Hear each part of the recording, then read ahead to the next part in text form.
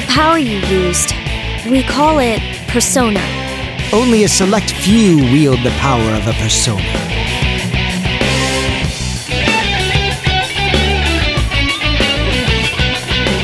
As absurd as it may seem, only we, with our personas, can fight the shadows.